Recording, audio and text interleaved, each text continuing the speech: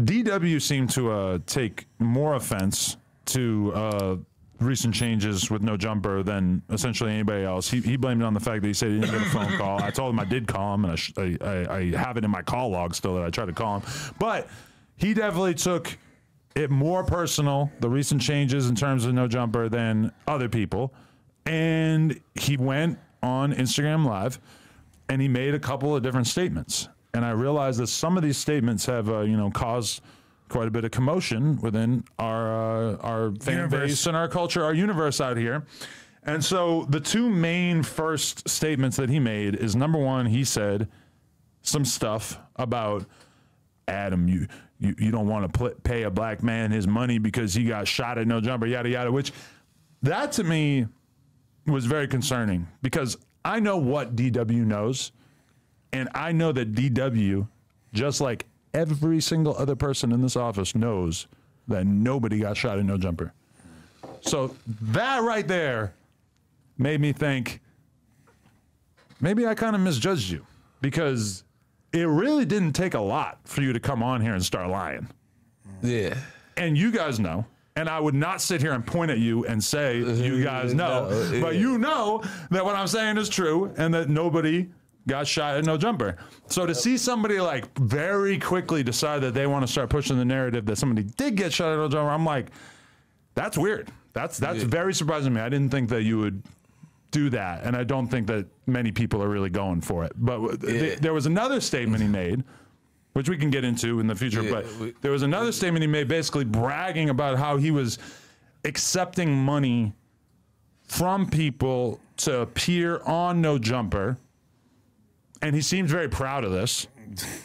And he deleted it soon after, possibly because he might have uh, kind of realized that this was essentially like him admitting to stealing, bragging about stealing. I thought it was like a weird thing for him to be so triumphant about, but I understand that this kind of. Shouts to that embezzlement flex. Let's get it. I mean, Yo. I, I was impressed. I was like, wow, I didn't see either of these statements coming. Yo, wait. That was a little surprising. So how how is Sorry, this is- that's what I'm saying. When you leave and you get the speaking on stuff that you, you that you think is just a side play and shit that's going on, you don't know how that's fucking up your life in the long run. You get what I'm trying to tell you? Like, like, like, like him Mm. Trying to just- get them clips off, just getting the clips off, yeah. and it's like, damn. If Adam really wanted to do some bullshit to me right now, like, like you really can, like, you get what I'm saying? Do we Even think though- he was like serious? Like, is there? A, is it possible that? I mean, do you just- believe that anyone would spend five grand to go on his podcast? I don't know. It's kind of like it depends on how much money that person You- had. You know what? If they're like, so I, I, I could see for sure people being down for that. Just No, like, if this five thousand. I don't, I can't say it for a specific number, but I know that people are like they want that no jumper cloud so bad. They're and if all it took was an investment, like hell yeah, five seems a little bit high. You Mm. know what I mean? Like if like if you spend five G's, I would me personally, if I'm like a company, I'd want to get a couple million impressions off that. But you, know what I already mean? know Like, that he's not going to say the actual amount that he got. Yeah. He's going to take the actual amount that he got from somebody to appear on the multiply podcast and he's going to by- multiply it by four or five. Or two. Realistically, maybe 10. We don't know. because, look, it's, it, it is an easy setup. And, like, this reminds me of a conversation I had with my uh, poker coach recently, bbzpoker.com. He, he he mentioned to me how he runs like staking business, right? So if like you're good at playing poker, but you don't got enough money, he'll give you 10 grand, he'll give you 20 grand, whatever. Yeah, you, yeah, you play yeah. poker using his money, and if you make money, then he gets a split of it. If you lose money, then you're in debt, so whatever. he's a, he's a futuristic bookie accommodating the needs of the time. Exactly. But then he also coaches these people, helps make them better, whatever. They have a cool relationship. And he, he's been doing this for a long time. And in the early Is days his of name Adam?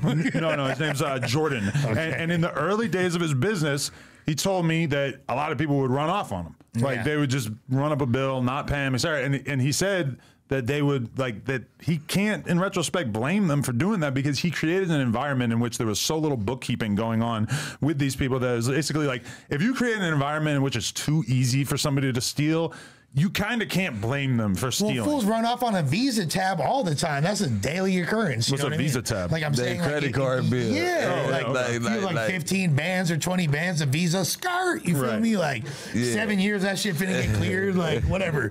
Like fuck it. Like just like you're like I'm sure we all know multiple people. But the thing is, I mean- is is that if you like the environment that we created with the fucking weekly pods there is like it was such a free for all. It was a it was such a bring whoever the fuck you want on.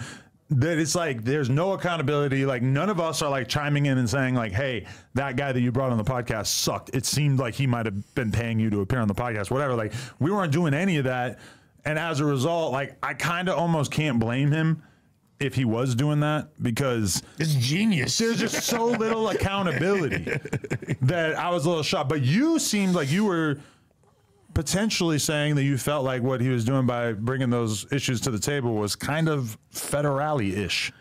What I was saying, uh, Clarify. yeah, what I was saying, because police wise, I wasn't saying nothing about court. Right, of course, yeah. The conversation was on fake telling. Yeah.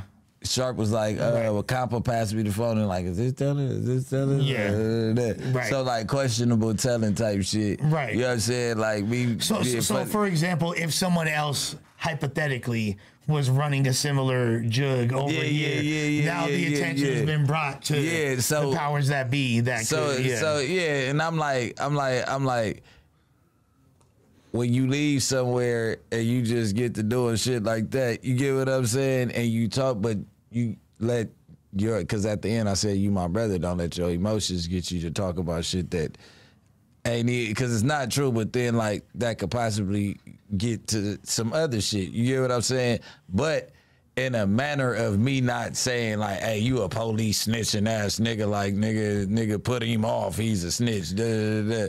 The conversation was on fake tell. Yeah, but of course people so are it gonna- was people are like it was take like that and they like, gonna yeah, take yeah, that yeah. So it was like I'm like I'm not- like, can you talk about it? DW is not stupid, bro. Like, he's smart enough to be able to read between the lines. He's been in, like, the media space long enough. Like he responds, he said everything public record, but it's not because none of us from the office we never talked about the situation. Period. Whatever the fuck type Right. of situation that happened, whoever did know something, and nobody got shot, but whatever the fuck that was going on, and then.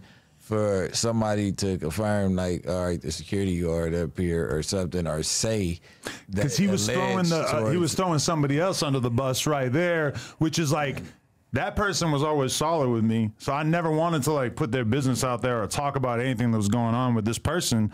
So like the idea of like exposing the circumstances. It's like that's not cool because then that person's gonna have a harder time in life, and he didn't do nothing to involve himself. In, well, besides the obvious, he didn't. He didn't do anything to involve himself in this fucking situation. He doesn't deserve to be called out like that. I thought that was kind of lame to like throw his business out there. Well, obviously he like has a certain level of disdain for him because just the way he talked about him in that clip. You know what I mean? Like so, hmm. like. But ma- this is not something to I would have justify brought up in not a to justify jokingly manner if he would have been right here, like, damn, cuz you think Right. that you said that was cool, like, nigga, da da da da, like, you know what I'm saying? Like, not saying that you was so when I said snitch, it just automatically clipped. Oh, Brick Baby's calling him a snitch. Like, nigga, you didn't go to the police and do no weird shit. Like, because in the gang world, that that word's so sensitive. You get what I'm saying? I didn't mean to call him a snitch, but I was like, basically, like that ain't straight. But, Like, okay, you get what I'm I- saying? Like, Yeah, you no, know I I mean? totally At the end of the day, I heard a couple different versions of it though. I heard Brick Baby is mad that DW exposed the way that people got paid, or like saying that people ain't really getting paid in No Jumper. I heard people saying Brick Baby is mad because DW exposed the shit about uh, Mustard Man and security or whatever. And I heard people saying Brick Baby is mad because he snitched on the jug of taking money for interviews because Brick Baby is Well, doing that as well. Listen. Well, number Hey, one- that- that's just a theory that a few people hit me with. Number one Look. and three are essentially the same thing with a little extra on it. That, that's So, the no. parmesan on the No, no, fucking, no, no. pot, you know. Brick Baby is mad because you are leaving. I'm not even mad, first and foremost. I'm not mad. Mm-hmm. I'm just going back because you said niggas ain't getting no chili up there. Like, you don't Right. know what niggas doing up here. And Yeah, it ain't you know, that. and, and Brick specifically said, and that's to reference the second point. Like Brick specifically said on the Sharp uh, on Sharp's pod the other day. Yeah. Brick said like everybody has their own arrangement. Really, like I don't know what Brick makes over here. I don't know. It's not my business. Like what did what did Hope say? Well, you eat don't make me shit. You And, and what me? you're getting at talk. right now is you're saying that you have a contract and that Yeah. he was getting paid per individual piece of content, which to be totally fair, like that is kind of like how it goes is that people come around and we pay them for individual pieces of content and then at some point if it becomes obvious like oh we want to have this person on a consistent schedule i want to be able to rely on them x amount of times per month etc then we're going to put them on contract the thing with dw is he didn't really like stick around long enough or like or really like create that value where I was dying to give him a contract. Because I'm gonna be real with you, like his podcast, like I gotta give him credit. He showed up, he did it. P Nice has a lot of potential as a Nice podcaster and shit. I think everybody agrees that P Nice got a future as a podcaster is and everything like that. But also, DW was incapable of putting a stop to the swearing in the beginning part of the podcast. I think that he might have been the most consistently demonetized podcaster in the history of No Jumper. Like literally every single episode. He has some dope yellow. guests, though. He, He did. did- He got some good guests. Nick Cannon, Justina Valentine. the ones like, who didn't pay exactly, but uh, and that, That's Justina what I was about Valentine brought. 10 Yeah, racks. Yeah, yeah, yeah, yeah. yeah, That's from a promo budget. Nah, but you know what I'm saying? Like he he like there was just kind of a lack of professional. Like I can't blame him 100 percent for getting every single episode de- demonetized. Aside from the fact that like he he always was a person who had a very hard time not swearing. But then on top of that, it's like the views weren't really like looking too astounding. It kept going down every single month. Like if he wanted to make a push to like get a contract and be like consistently on the podcast and everything. For sure, we could have got to that point, but it would have had to be something that, like, you have to be like kind of bringing an but- audience but- to but a certain point, regardless- have developed a fan base that's going to watch on the channel, right? like the, regardless of that like he's been in the industry long enough to know that ultimately you have to have those conversations with upper management and whoever the financial team which there is Yeah. in place at no jumper. You know who to talk to about that. Hmm. So if you want to get that situation cracking for yourself or you want to change whatever financial arrangement you have in place holler at the man. You feel me? You know who to talk to. And I was just a you know little, who pays you. I was a little insulted because he's talking about motherfuckers ain't getting no chili, rah rah rah, and it's like, bro, I'm out. Like on that podcast, I don't know how many episodes it was. It was probably ten episodes. Whatever I paid you is what I'm out because every single one lost money, like big. Every single one, like you know, it's just it wasn't getting any views and it, it was getting demonetized on every single one. So what the fuck are we talking about? Like you know, this has to make sense for the the business as well. Even like breaking even is like a, a decent outcome, but we weren't doing that. We were like just paying you on the premise that this might start getting more views as time goes by. And you know, I mean, if he was really that confident, it's like, why don't you just go do it on your own or do it for like another platform or something? Because like, if if you were really bringing that much value to the platform, then you should probably have all kinds of other options as well, right? I mean, he, he low key in that same live he did, he did allude to the fact that like, yo, I'm really like podcasting, like it was cool, like I enjoyed it, like ain't really my thing. I got to get back to this rapping. I'm glad that I was able to shed some light on my boy P Nice. You feel mm, me? yeah. He can, and I honestly like, I, I thought that was dope. Ultimately, Yeah. like, like, yeah, I do think that DW has potential as a podcaster, absolutely. But mm. like, I feel like P Nice seems way more passionate about it, and like he mm. could actually go very. Yeah. You You see what I'm saying? They say that he had a passion for it before. Yeah. So and either Be one nice they already talked- did? Yeah. Oh, that's interesting. So I mean, he didn't have a podcast, but I guess him and his brother used to always Well, talk and about him. DW did want to like I know he had an interest in it because I had had DW on my pod last like summer. You feel me? Yeah. Because that's the homie. It's like so I had him on the pod, and he was all uh like he had hit me up like, "What's up? Let's let's do another show. Let's do shows." And I was like, "Damn, the way my pod at, like is low key equipped isn't ba- based as, at that time on continual guests, so I didn't really know how to like you know."